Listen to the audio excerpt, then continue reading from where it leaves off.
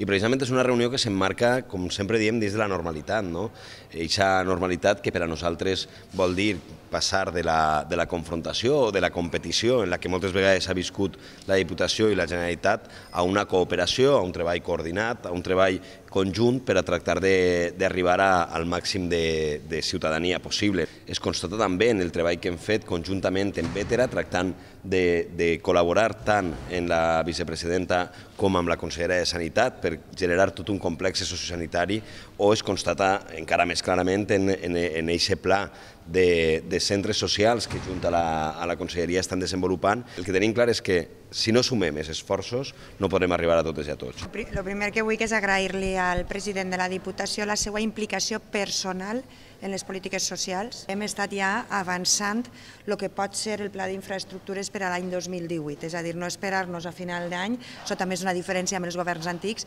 hem passat de l'ocurrència a la planificació i estem avançat ja les necessitats que tenim per a que en el 18 puguen entrar més municipis en aquest pla d'infraestructures. Les infraestructures de Vetera volem ficar-les al servei de les persones. Allí n'hi ha infraestructures abandonades durant dècades que nosaltres ara volem posar en valor, com en altres tants casos que hem fet en este, en este territori i serà el primer complex sociosanitari que tindrem a la comunitat valenciana. I això és molt important perquè en altres comunitats, en altres territoris, l'espai sociosanitari ja s'havia anat desenvolupant i així eh, ens hem trobat un erial